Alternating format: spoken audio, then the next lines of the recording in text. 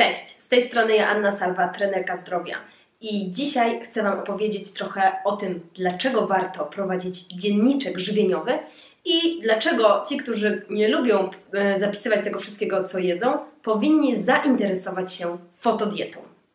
Czym jest prowadzenie dzienniczka? To proste.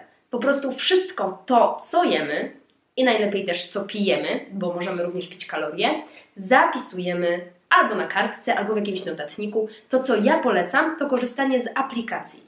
E, taka polska aplikacja to Fitatu. Jest ona w wersji darmowej zupełnie wystarczająca.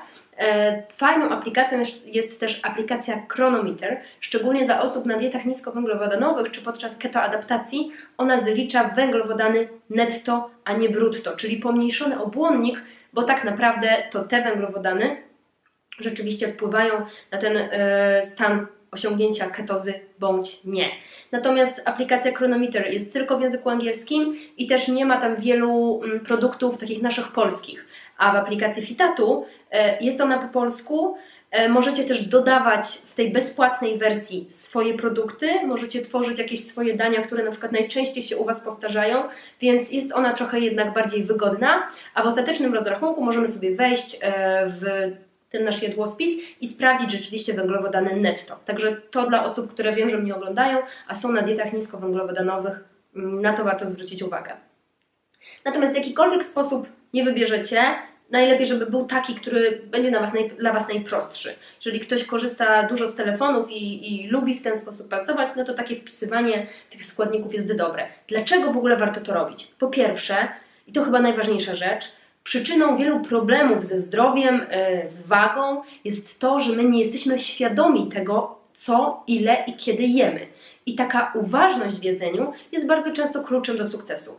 Ja nieraz powtarzam, zdrowie zaczyna się w głowie i rzeczywiście nie tylko chodzi o to, że chociażby trawienie jest, yy, już rozpoczyna się na procesie naszej głowy, więc zanim coś zjemy, powinniśmy o tym pomyśleć i przygotować się do jedzenia, ale też chodzi o to, żeby być świadomym jedzenia, a nie jeść kompulsywnie chociażby.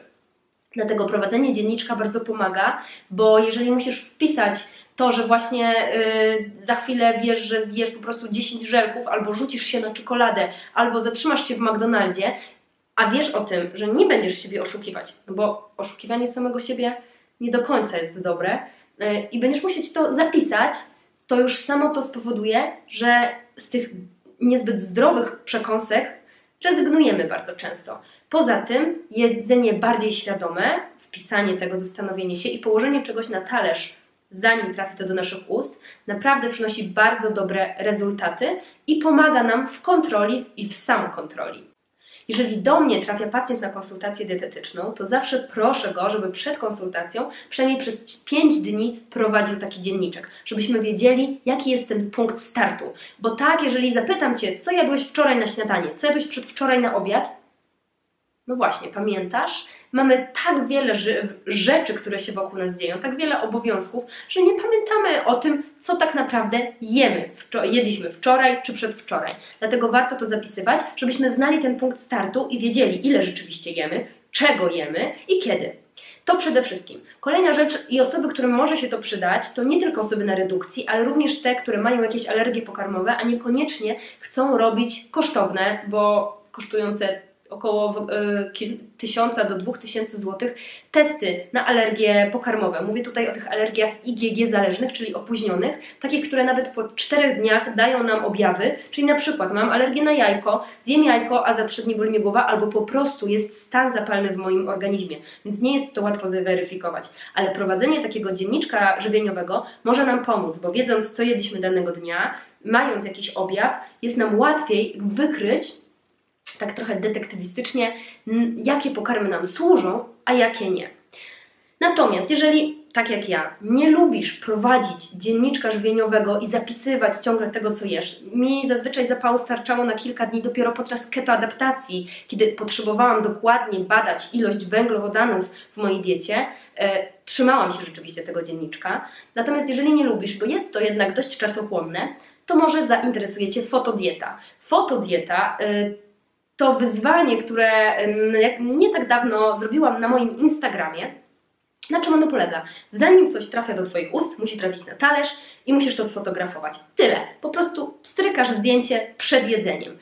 I działa to zamiast dzienniczka żywieniowego. Owszem, nie liczą nam to zdjęcie makroskładników, ale to nie o to tutaj dokładnie chodzi, ale właśnie zwiększa naszą świadomość i zwiększa naszą uważność.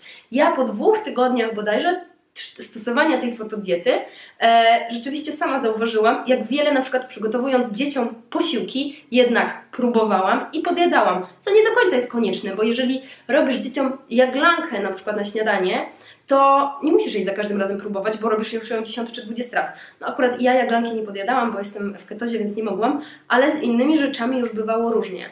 Tak samo robiłam na przykład zdjęcie, jak miałam kawę i do niej wzięłam sobie garść bakali, to zrobiłam najpierw zdjęcie tych bakali. I ta świadomość naprawdę jest niesamowicie pomocna w naszym życiu. Nie chodzi tu tylko o jedzenie, ale tak naprawdę o wszystko. Taka uważność, z angielskiego mindfulness, to na pewno jest coś, co jest zaletą zarówno dzienniczka żywieniowego, a także fotodiety. Fotodieta ma tą przewagę, że jest po prostu szybsza, bo nie mów mi, że jeżeli, że skoro masz czas zjeść posiłek, to nie masz czasu zrobić mu zdjęcia. Zajmuje to 2-3 sekundy.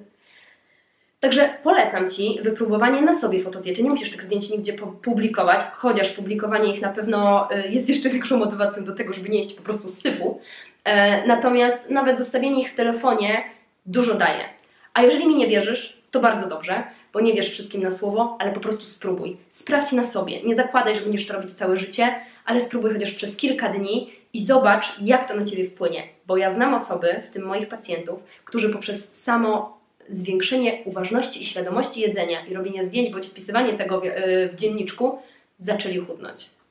Także może warto spróbować. Polecam i pozdrawiam serdecznie. Do zobaczenia w kolejnych filmach. Cześć!